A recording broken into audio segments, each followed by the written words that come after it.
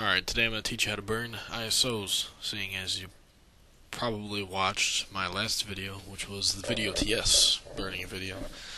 So this time I'm going to teach you how to burn ISOs, which is kind of like the compressed version of video TS files. It's a little bit easier to deal with if you're not, you know, as experienced as people who normally would play around with video TS files. So, to get things started, I'm kind of kind of explain to you what a video or uh, a ISO is. So what I'm using here is Daemon Tools, and this is just the agent because you don't really need Daemon Tools, the actual program for this. So all I'm doing is right-clicking on my agent down here, my tray, and then I'm going to go in my virtual CD DVD-ROM, which these are the four virtual drives I have, and then I'm going to mount my ISO. So what I'm going to use for this example is Cloverfield. So there's my Cloverfield ISO. It's 4.35 gigabytes, which is the average size for a uh, DVD. Open, and then it'll mount it, and then it should try to play in whatever media I have it set up for, which I think is Windows Media Player. It should pop up here in a second. If not, then don't worry about it. But uh, basically, that'll mount. After it's done mounting, I'm going to show you what's going on here. So, go to my computer and then you can see if it mounted right. Here is uh, Cloverfield. Even though it's not labeled Cloverfield because the person who probably ripped this didn't label it Cloverfield. This is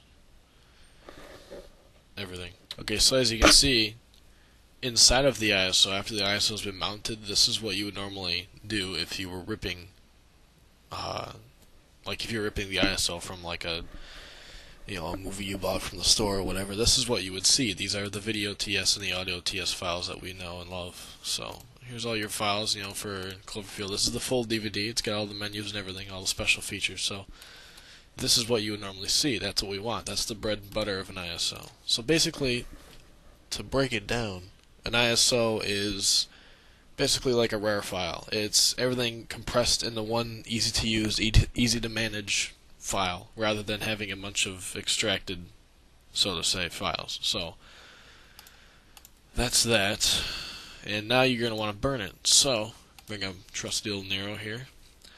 And then instead of using our old fashioned Nero Express, we're going to take it down a notch. We're going to go to down in the bottom left here. You can actually add this application to your start page in the in the launch applications. You can add it to there.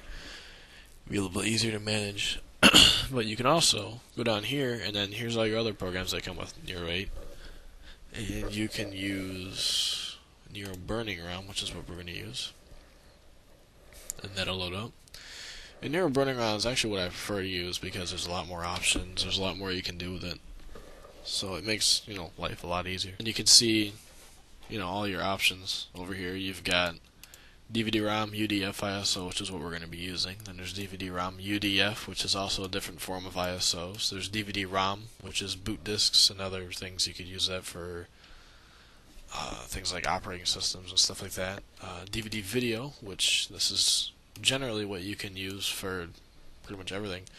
DVD-ROM ISO, which is what I usually use for ISOs. In fact, I think I actually might even use it for this tutorial rather than UDF, but I'm pretty sure Cloverfield is a UDF. Now, if you use one of these, either DVD-ROM ISO or DVD-ROM UDF slash ISO, if you try to use it and it's the wrong one, Nero will tell you that, you know, hey, you should be using this instead, and it'll redirect you back to this page and I'll let you choose that. So, don't worry if you choose the wrong one. Nero will walk you through it because it's cool like that. So, for this DVD-ROM UDF ISO, don't worry about any of this up here because that's only if you really want to get into that, which you shouldn't need to because everything's pretty much already done for you. Click New, and then Nero will load up your file browser and your DVD. And now I'm not going to actually do this because I don't have um, I don't have a blank DVD in my drive right now, so there's nothing. It's not going to let me use it so it, it's pretty straightforward from here, though. Don't worry, I got you covered. Alright, so here's Robot Chicken Season 1. Okay, I've got my two ISO files. Okay, I've got disc 1 and disc 2 because there's two discs, because it's a two disc collector set, or whatever. Okay, so disk one. All you would have to do for this is either copy them both at the same time, or you can just do one at a time, whatever works for you. I'm just going to highlight both, click and drag these over here, and drop them onto that. Now see, this is what I was talking about. This is what Nero will do. This is the file Robot Chicken Volume 1 Disk 2 ISO is larger than 2 gigabytes and therefore cannot be stored in an ISO file system. Please use the UDF file system. So that's what I was talking about. If you use the wrong one, it'll tell you. So, blah blah blah.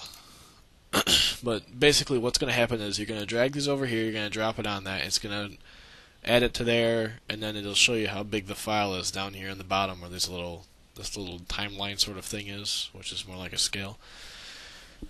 That'll fill up and tell you how big it is. And remember, after you get both of them on there, you know, complete your disk. Remember that this is what you need to, you know, make sure that's right. DVD 5, unless you're burning a dual layer DVD, because normally you'd have to do this on two two separate disks because these are each 4.5 gigs. So for me, I would have to use two disks, or I could use one single dual layer DVD. But I only have single layer DVDs on me right now, so DVD 5. And then after you get your files on there, of course, you're going to click the burn icon, which is right there. But since I don't have a blank DVD in my drive, and since I don't have any blank DVDs, I can't show you that. But basically, what you're going to do is you're going to click that. The burn program will come up, same as usual. You burn it, and after you get done burning it, your tray will eject, and then uh, your Robot Chicken Volume 1, or Season 1, I should say, will pop out, and you'll be in your Robot Chicken heaven.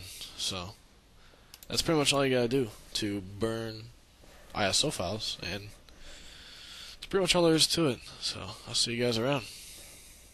Take it easy.